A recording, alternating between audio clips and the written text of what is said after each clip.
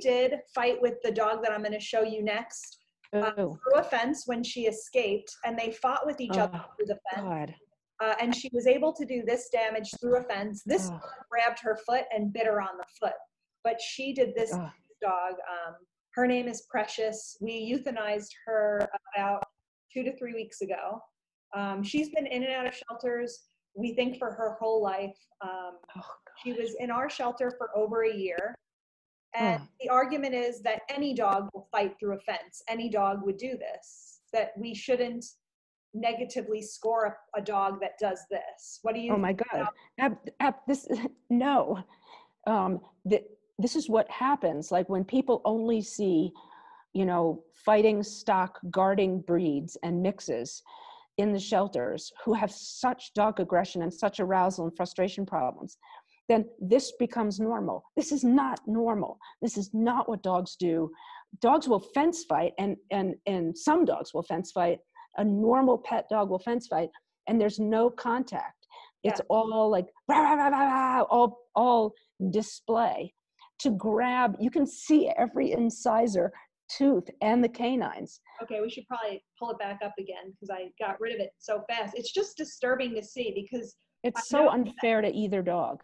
I mean, I know that, um, you know, the dog who got bit, she did fight at the fence. She was in a very large yard. She was in a yard that is, you know, huge, um, hundreds of feet long and 50 feet wide or more. And she could have gone anywhere. She did not have to fight at the fence, but she chose to, to fight this dog through the fence. Um, Can you see all the incisor marks on the bottom nostrils there? Those are incisors. And then the top has a canine rip. I mean, this is just, um, oh, it's so awful. Ugh. Ugh. So can you imagine uh, these dogs being your neighbor, and if your dog innocently stuck its face under the fence or up to the fence, what would happen? Or even if you're walking this dog on the street and she sticks her face near chain link or under, you know, Yeah. stockade. It's the um the case in Utah in my home state of the two Siberians next door neighbors and they went under the plastic stockade fence to grab the 5-year-old boy and in one one bite amputated his hand and people were saying oh well he thought you know he thought the you know the kid was a toy and it's like dogs don't even do that with toys but to sever a hand like this level of bite pressure grab hold bite shake is it's so um, monstrous. It's monstrous. And it is not normal dog behavior. And we also have to look at it like when when these are your this is your genetics this dog these are the genetics they don't belong. There is no place where they can um, where they're able to be um, with access to their instincts because they're not bred as dogs. There's no way to fulfill them. Um, and it's it's just it's a cruelty to Yeah. keep them alive there's no way to provide the enrichment that they would really need in a safe way and and and not humanely for anyone around them and this is uh, Precious, who we euthanize. okay This is what she does like for significant portions of the day, this stereotypic kind of pacing. I have a dog kind of near the fence.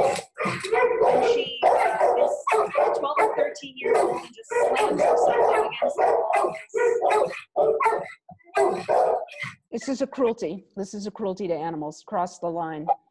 Um, i call i call this a behavioral emergency. I mean i i know she was already euthanized but stereotypical behaviors are the sign that the dog has lost quality of life. And the studies from the zoo community is the brain rewires. So she's rewiring forming new neural pathways in this um, this is a response to an abnormal environment this is cruelty to animals. There's not a person who would go to a zoo and watch a, a, you know a gorilla doing this or a or a wolf pacing and lunging and circling over and over and over again and say oh that's okay. It's it's not okay. It's not okay. This is cruelty to animals in the highest form. Yes, yeah. we are not exempt from cruelty to animals just because we are animal shelters fighting against cruelty. Yeah. So this, um, you know, it's hard to watch. It's hard Yep. for staff to watch, and I think it really stresses out our adoptable pets You bet. to to to watch um, this and to hear her barking and It's so unfair to her, to everyone. It's so cruel. Yeah. Oh, so this is her with uh, the fake dog. this is precious. This is precious. Yeah. So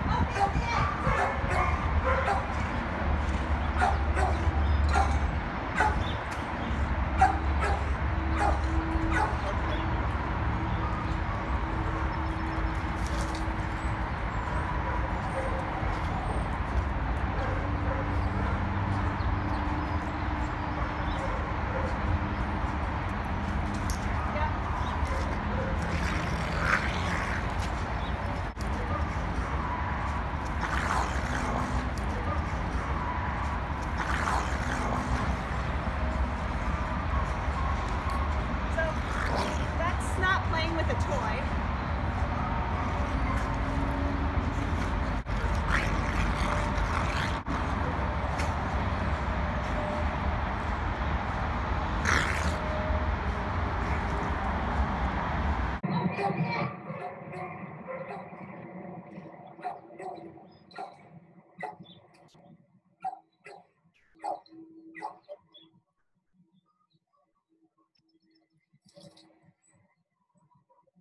Oy. Oh, man.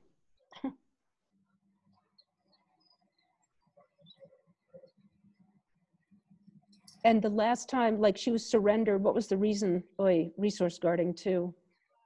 That level, do you see that level of clasping, grabbing? So you've got, and, and this is the uh, topic of my webinar next Saturday, um, like assessments with dogs and a combination of low threshold dog to dog aggression with low threshold resource guarding. It's the formula for this, and this is how people get bitten trying to save their own dogs. Oh yeah. Um, and this dog will let go of a dog, or maybe they've already killed the, the person's pet, and they will turn on, um, they'll turn on the person fighting them. And again, they're, oh, Yeah. So she was surrendered, but do, um, I know she was in and out of shelters. She was surrendered uh, one time a few years ago to a different animal shelter because of an eviction. She sat Okay. in that animal shelter for over six months, and then the owners came back for her and they waived her fees Wow. and stuff and let her the owners take her back. And then a few years later, they surrendered her to our shelter because they said that they were evicted. Um, and she has sat at our shelter, you know, ever since for for a year or two. Um, and she is severely uh, dog aggressive. She also, in more recent times, if somebody goes to greet her and you go to stick your hand out, she snarls and takes a shot at your hand. Yeah. So, um, one thing that the people, you know, we had we had some backlash after we euthanized her. We had a yeah, protest, candlelight vigil, all this stuff. They said that she was nice in the videos that they that they've seen. And, and some of them came to the shelter and hung out with her and she was so sweet and good in her videos. And she's a good dog. She just needs to go to a house without other animals. And again like what happens when this dog gets out of their home? What happens when she goes to the veterinarian and the owner walks her through the door? What happens? how do you provide this dog quality of life? There's no way she can ever run free. Um, she can't go for walks. And so she would be confined to somebody's home and yard. She will get loose because she will go stir crazy because it's no life for a dog. Um, and there's nothing, sorry, there's no sociability. She's not sweet. The, the, the use of the word sweet to describe this dog is a misnomer. Sweet is a gentle, ears back, affectionate. It's it's uh, completely different.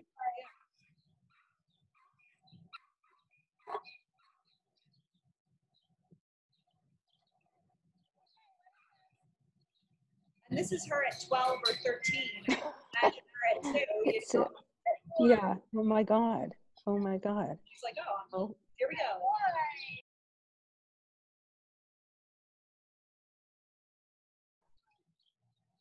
Yeah, and there's the B line. The head doesn't move. Oof, oof. So there's a gut oy. crack. So how do we know that she is not playing?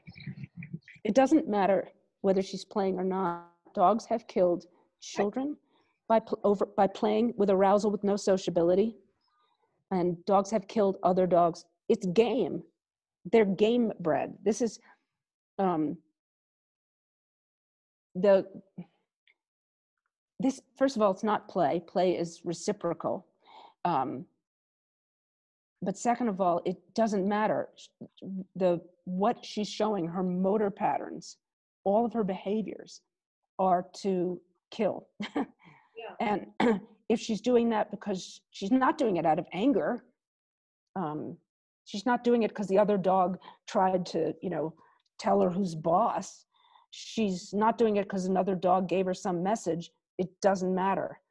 Is um, these dogs do not belong in our communities, and I'm telling you, um, when shelters place these dogs or send them to rescue, and they get loose and they hurt somebody else's dog or a person, um, the liability is emotional liability, financial liability. It's so irresponsible. It, it um, it's got to stop. This is like all in the name of. Um, uh, it, this is a complete lack of knowledge of normal dog behavior and a complete lack of knowledge of the limitations of behavior modification and of dog training.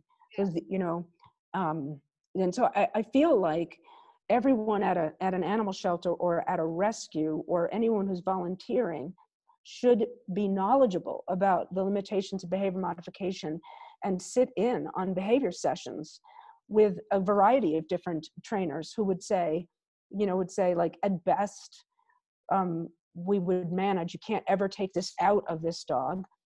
And um, and you know management isn't without without um, event. They would understand that